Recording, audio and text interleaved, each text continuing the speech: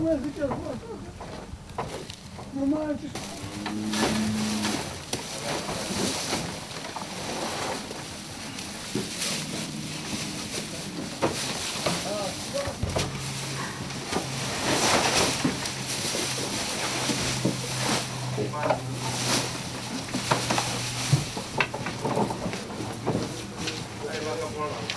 În 2012 am început cu un efectiv de 15 animale. Acum avem un efectiv de 22 de animale maturi. Cum v-ați descurcat până acum? Până acum a fost acceptabil. Problemele încep să apară din, în fiecare zi mai, mai grele. Deci, impozite mai mari, e, piața de desfacere nu este, prețurile foarte mici. Cât vi s-a oferit pentru un litru de lapte?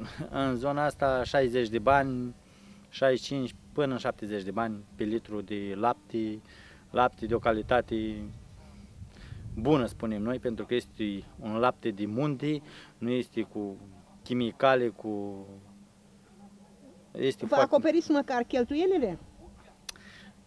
Am început să nu le mai chil... Până acum a fost cu un ochi aproximativ bine, dar acum încet, încet am înțeles că uh, se scumpește impozitele, se mărește cu 50%, deci nu știm dacă o să putem să ne mai descurcăm în condițiile actuale. Coace sau trei și mai aveți în altă parte? Am la deal. La deal, dar tot. Patru. Aia mea, da. Sunt cheltuieli foarte mari și aceste, dacă nu- nu ai bani, n-ai cu ce face. Dar Și și dacă statul condițiile- a venit, uh, ar fi mai bine să, uh, să mai reducă din aceste uh, uh, condiții care se pun. Să fie mai lezni și noi să ne punem la treabă. Ne confruntăm cu, pro- cu cea mai mare problemă, cu nutrețul care câștigul față de ceea ce câștigăm cu el este de două ori mai mare. Uh, Nu avem uh, posibilitate uh, să cumpărăm îngrășăminte chimice, statul nu ne ajută cu nimic. Impozitele sunt, uh, nici nu trebuia pus aceste impozite la, la, la creșterea, la crescători de animale, întrucât că sunt foarte multe, multe, uh, multe uh, probleme care trebuie rezolvate. Cele sanitar, uh, de pășunii, de taxe de pășunat, de toate problemele care sunt. La final uh, mai rămânem cu baliga care este, o ducem pe pășunii. Prea mult mulțumită nu suntem, dar n-avem ce face. Asta e situația la țară. Când începe munca? La ce oră dimineața? La șase. Și se termină? Tot la șase, seara la șapte și la opt câteodată, din funcție de cum suntem acasă.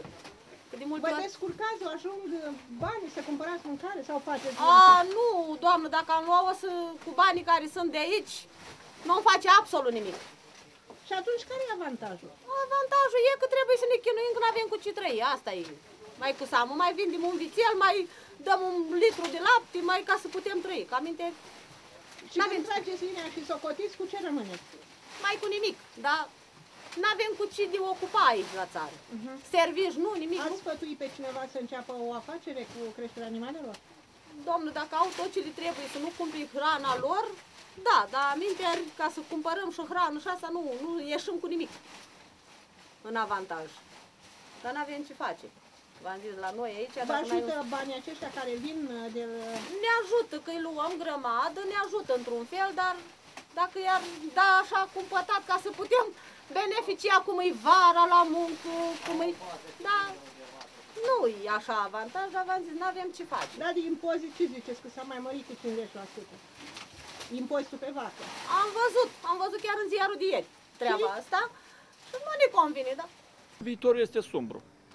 Datorită faptului că munca este foarte asiduă, câștigurile sunt uh, mici, creșterea animalului este foarte grea. Mai ales în zona de munte, terenul este accidental, uh, forajele sunt de proastă calitate, uh, nu sunt furnuri de luțernă, de uh, fânețe din astea îmbunătățite cu borcea, cu trifoi. Noi nu trebuie să descurajăm crescătorii de animale, însă și statul ar trebui să, să, să-i sprijine într-un fel sau oarecare, măcar pentru vânzarea produselor. Nu au unde să-și vândă produse, nu au unde să vândă laptele. Este, prețul este foarte mic în comparație cu, cu munca care este. Ați văzut și dumneavoastră, prețul la litru de lapte este de 50-60 de bani. Cum să faci performanță cu, cu, cu un preț de genul acesta. Taie nu Uh, taie nu e un leu. Kilogramul de carne este foarte mic. 7 lei, 8 lei în carcasă. Nu poți să faci performanță.